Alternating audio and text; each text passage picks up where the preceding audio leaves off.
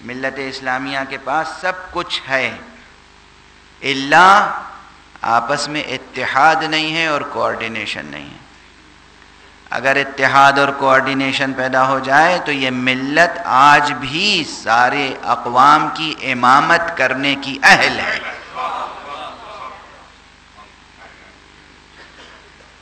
ملت اسلامیہ کی بات عرض کر رہا ہوں۔ ملت اسلامیہ کے اندر خصوصیت کے ساتھ یہ قوم جو اتنا عشری ہے، اس پر ذمہ داریاں اور زیادہ ہیں۔ اس لیے کہ ملت تو پوری ملت اگرچہ ملت اسلامیہ ہے، مگر اس کے پاس اتحاد کا کوئی معصوم مرکز نہیں ہے۔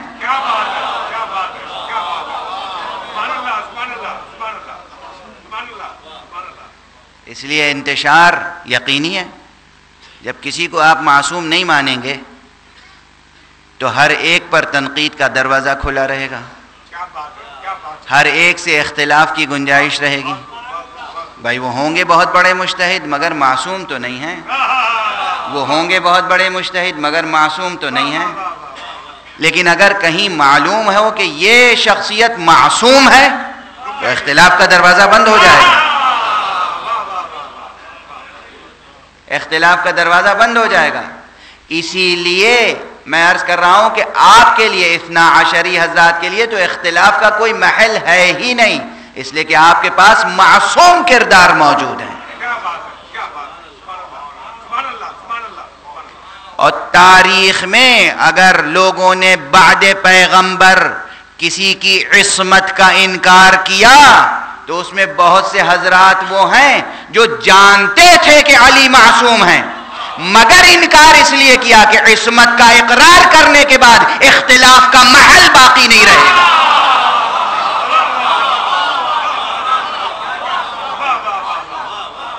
گا اگر مان لیں کہ معصوم ہے تو اختلاف کیسے کر سکیں؟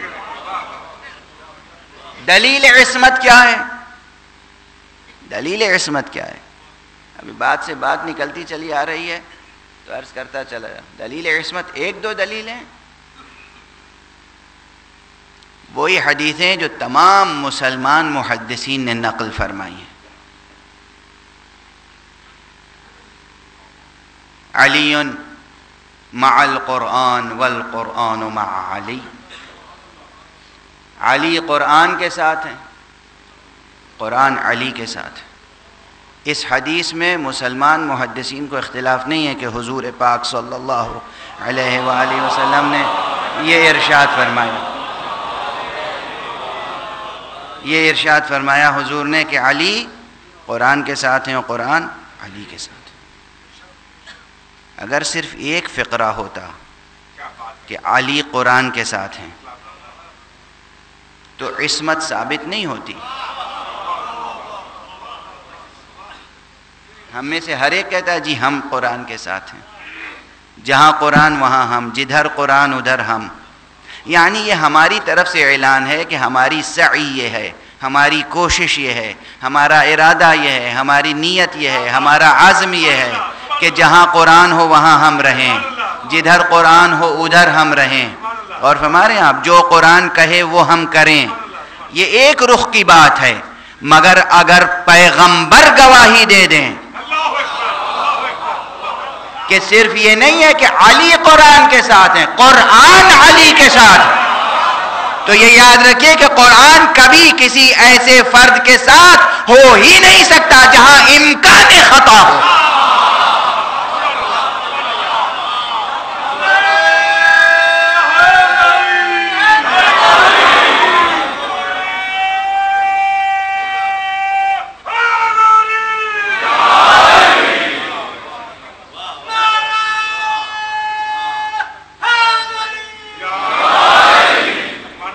اب یہ حدیث سب کو معلوم ہے؟ پھر بھی کہتے ہیں علی معصوم نہیں ہے۔ یعنی اب یہاں نعوذ باللہ یہ کہنا کہ علی معصوم نہیں ہے تو کیا ہم یہ مان لیں کہ قرآن بھی معصوم نہیں ہے؟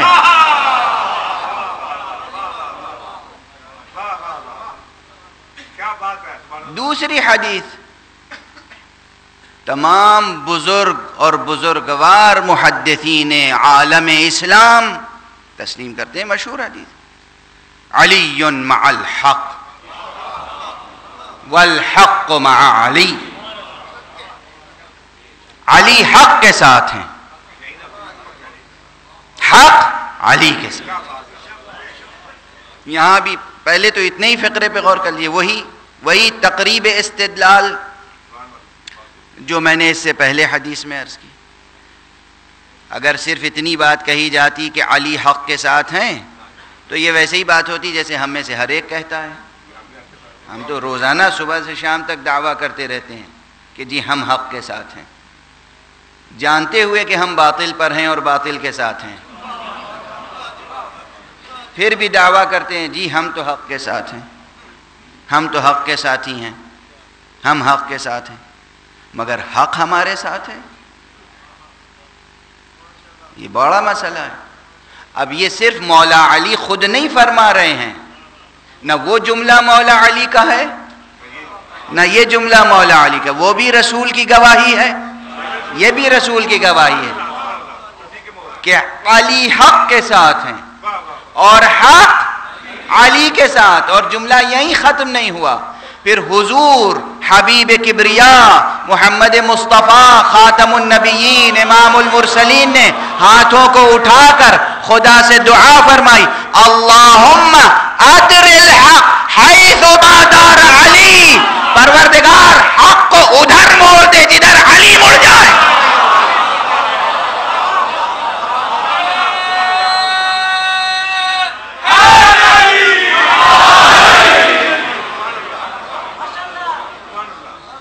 معمولی، یہ ہے علی کی عصمت۔ یعنی حق کے ذریعے علی کو نہ پہچانو۔ علی کے ذریعے حق کو پہچانو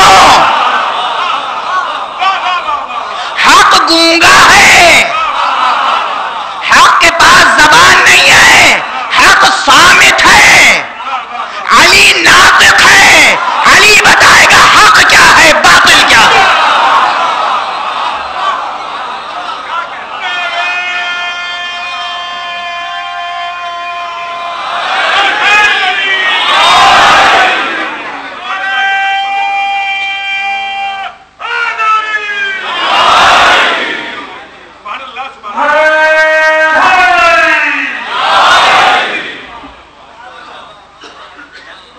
بہرحال بات تو میں صرف یہ عرض کر رہا تھا، صرف اتنی سی بات عرض کر رہا تھا کہ آپ کے پاس معصوم رہبری ہے۔ اور اس کے بعد پھر ایک جملہ اور عرض کر دوں تاکہ بعض اور شکوک و شبہات دل و دماغ و ذہن و ضمیر سے دور ہو جائیں، توہمات دور ہو جائیں۔ آپ فرمائیں گے کہ ہاں معصومین تو یقیناً چہاردہ معصومین ہیں اور ان میں آپس میں کوئی اختلاف نہیں ہے۔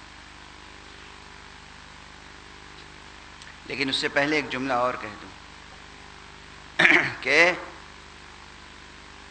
معصومین کی غیر موجودگی میں ایک بات کہی جاتی ہے۔ مغرب کا ایک پروپیگنڈا ہے زبردست۔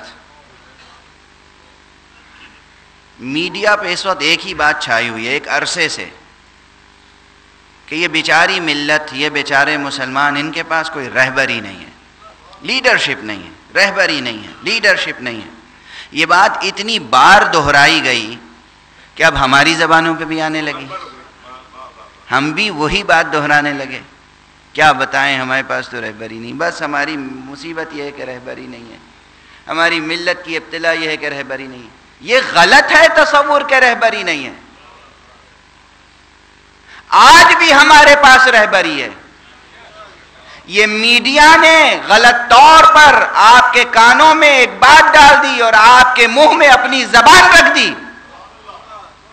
وہ دوسرے ہوں گے جن کے پاس رہبری نہیں ہے۔ آج بھی ہمارے پاس رہبری ہے۔ معصوم رہبری بھی باقی ہے۔ اور ظاہر بظاہر غیر معصوم رہبری بھی ایسی رہبری ہے کہ جس کے دامن پر گناہوں کا داغ نہیں ہے۔